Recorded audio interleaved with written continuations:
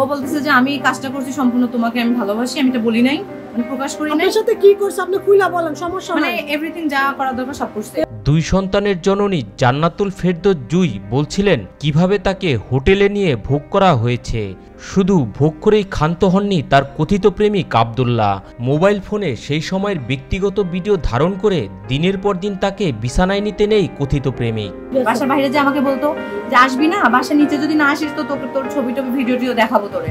শারীরিক চাহিদা মেটানোর পাশাপাশি আর্থিক চাহিদা মেটানোর জন্য প্রেমিককে অন্তত আট লাখ টাকা দিয়েছেন এই নারী। প্রায় তিন বৎসর প্রেমিককে শারীরিক চাহিদা মিটিয়ে বিয়ের দাবি নিয়ে যখন প্রেমিকের বাড়িতে অনশনে জুই, ঠিক সেই সময়ে প্রেমিকা জুইকে ঘরে আটকে রেখে প্রেমিক আবদুল্লাহ বিয়ে করল বাবা মার পছন্দের পাত্রীকে। হ্যাঁ চাঞ্চল্যকর এমন ঘটনা নরসিংদীর সদর উপজেলার মহিষাসুরা ইউনিয়নের নয় নং ওয়ার্ডের বিলপার এলাকায়। দেন প্রত্যেকটা দিন রাত্রে দুইটার দিকে আমার বাসায় যাইতো। একুশ বছর বয়সী দুই সন্তানের জননী জান্নাতুল ফেরদৌস জুই দাম্পত্য জীবনে স্বামীর কর্মস্থলের সুবাদে দু হাজার তেরো সালে বিয়ের পর থেকেই থাকে নরসিংদীতে। দুহাজার উনিশ সালে সামাজিক যোগাযোগ মাধ্যম ইমুতে পরিচয় হয় নরসিংদীর সদর উপজেলার আবু সাইদ মিয়ার ছেলে আবদুল্লার সাথে।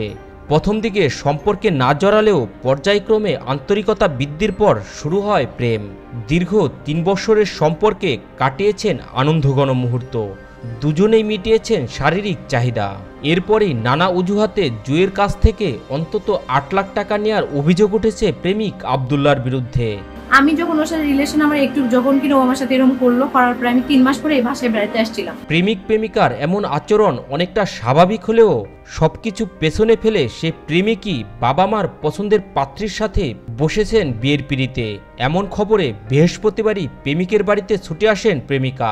বসেন অনশনেও। পা ধরি ধরে বললাম যে দেখো আমার সংসারের সংসার নষ্ট করো দিও না। কিন্তু লাভ হয়নি। বরং প্রেমিকাকে আটকে রেখে গত শুক্রবারই পার্শ্ববর্তী এলাকার বাবা মার পছন্দের পাত্রীকে বিয়ে করেছেন প্রেমিক আবদুল্লাহ। এরপর থেকে অনশনরত প্রেমিকার চাহিদা পরিবর্তিত হয়ে কেবল প্রেমিকের শাস্তি আর টাকা ফেরতি প্রত্যাশা প্রেমিকা জুয়ের। তো বলছে তোকে আমি আমার জীবনে চাই। চাই মানে চাই। এখন যা করার দরকার তাই করব। বিষয়টি নিয়ে এলাকার মানুষের মধ্যে বিরূপ প্রতিক্রিয়ার পাশাপাশি বেড়েছে ঘটনা জানার আগ্রহ। তাই তো গভীর রাতেও ভিড় করছেন ঘটনাস্থলে। এলাকাবাসী মনে করছেন পারিবারিকভাবে বিষয়টি সমাধান হওয়া জরুরি।